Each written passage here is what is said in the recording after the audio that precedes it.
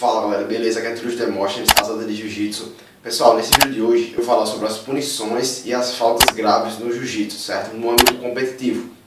Lembrando galera, estou falando, vou falar com base na, no livro de regras, nas regras da CBJJ e IBJJF. Certo, pessoal? Então na sequência vocês conferem. I'm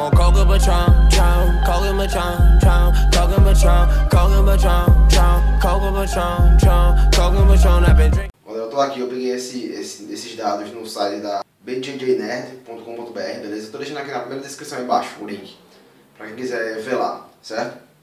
Então, pessoal, nesse vídeo de hoje eu vou falar sobre as, as faltas graves e punições no jiu-jitsu esportivo.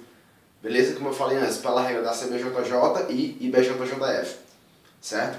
Então vamos lá, pessoal. Ó, algumas situações durante a competição serão consideradas faltas graves segundo as regras do jiu-jitsu.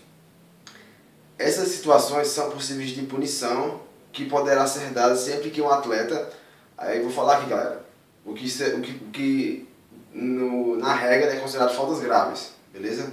Pegada ilegal, tipo, quando você está lá lutando no campeonato, até mesmo treino, você tipo, não pode fazer a pegada no kimono de jiu-jitsu, aqui na manga, por dentro. Tipo, enfiar o dedo aqui por dentro. Entendeu? Porque é uma pegada bem quase impossível de sair. Se o cara girar, quebra seu dedo. Então, pra, é, é, até para quem está fazendo, não é bom fazer. Entendeu? Porque tipo, vai se prejudicar. Então você vai a pegada virada por fora. Você pega o pano por fora. Beleza? Comunicação, mais um ponto. Você não pode, tipo, falar com o juiz. Vamos supor, você está lutando aqui, aí ele para a luta e você pergunta, não sei o que, não sei o que pro juiz. Juiz, isso está errado, não sei o que, não sei o que. Você não pode falar com o juiz. Ele já vai apontar para você e dar uma punição. Porque esse é, esse é o símbolo da punição. Ele aponta para você e dá uma punição. Certo? Falta de combatividade. Também, pessoal. Tipo, você está na luta lá, vamos supor, você está... Chama o cara para guarda, fechou na guarda e passa mais de 20, 22 segundos lá sem fazer nada, tipo, não tenta um armlock, não tenta um, um estrangulamento, não tem eficácia, não tenta é, desenvolver a luta. Então isso é chamado de o velho amarrar a luta, né? Isso é falta de combatividade. Fugir da luta também é outra coisa que dá punição, pessoal. Por quê? Porque vamos supor, você está lá lutando, aí no campeonato de jiu-jitsu tem a, tem a, a demarcação do tatame, até onde você pode ir. Se você fica toda hora, tipo, o cara tenta trair você e você, vamos supor, o cara traiu você, segurando uma, uma single leg, você fica andando pra fora do tatame, tipo, duas vezes seguida, três vezes seguida, o juiz vai lhe dar punição. Se não, vai lhe chamar atenção ou vai dar punição em sequência. Certo? Então bora pra próxima agora, ó. Sentar sem pegadas, pessoal.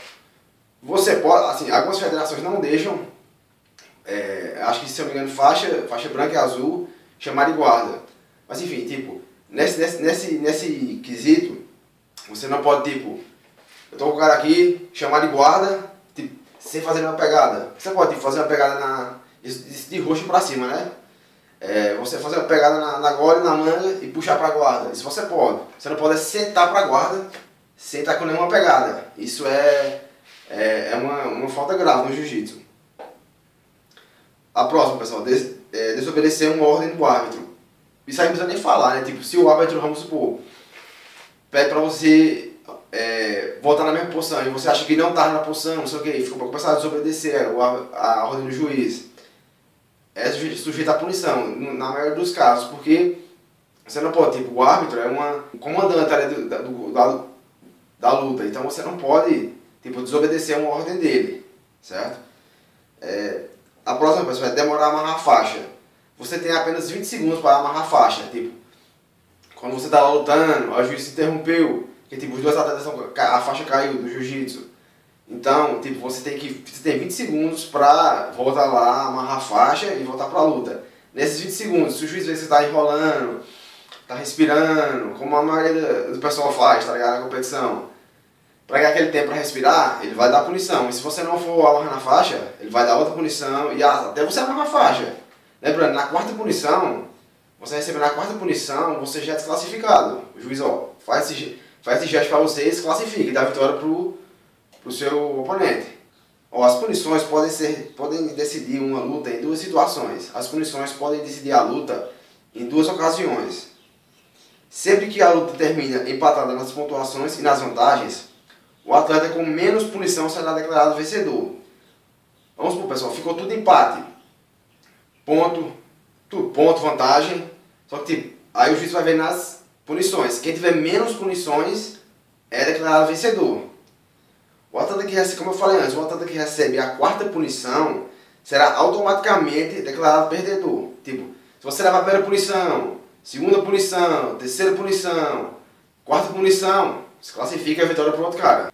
Aí no caso, a decisão do árbitro. Caso uma luta termine com ambos os atletas somando o mesmo número de pontos, vantagens e punições, aí já é outra ocasião. Se, se os dois atletas empatarem em, em tudo, tipo, é, pontos, vantagens, punições, apesar de não existir critérios objetivos para essa decisão, o árbitro declarará vencedor o atleta que, segundo ele, foi mais ofensivo durante a luta. Tipo, o juiz vai ver, ele não vai escolher, assim, lógico, ele vai ver quem foi mais afetivo na luta, tipo, quem atacou mais, quem tentou buscar mais a luta.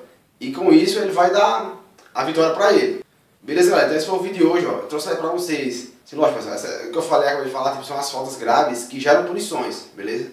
Então, pessoal, esse foi o vídeo de hoje. Espero que tenham gostado. Qualquer coisa, pessoal, deixem dúvidas aqui embaixo nos comentários que eu tô respondendo, beleza? Então, espero que tenham gostado do vídeo. Lembrando, não se inscreve no canal, deixa o like e compartilha. Tamo junto, galera. Até o próximo vídeo. Os...